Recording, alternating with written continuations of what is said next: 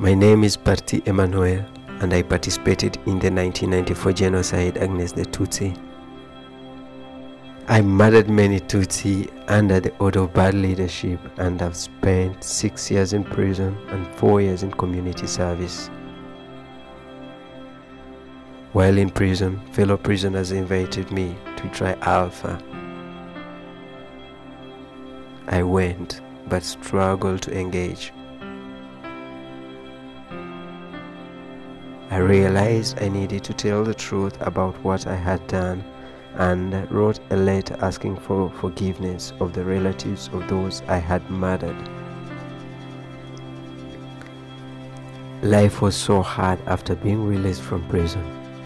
I found my wife with two children that were not mine, and I faced many heartbreaking situations. I didn't know how I was going to live with the genocide survivors after what I had done. My heart was filled with agony loneliness, and fear. Encouraged by Alpha in prison, I decided to do Alpha again.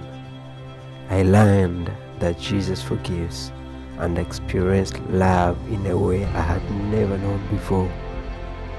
With the help of a local pastor, I went to find Vincent, whose mother and grandmother I had killed, to ask for forgiveness.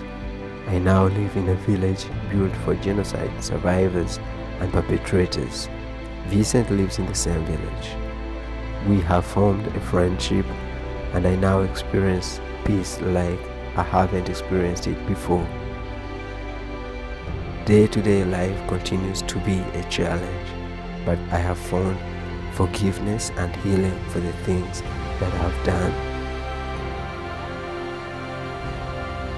got questions about life, try Alpha.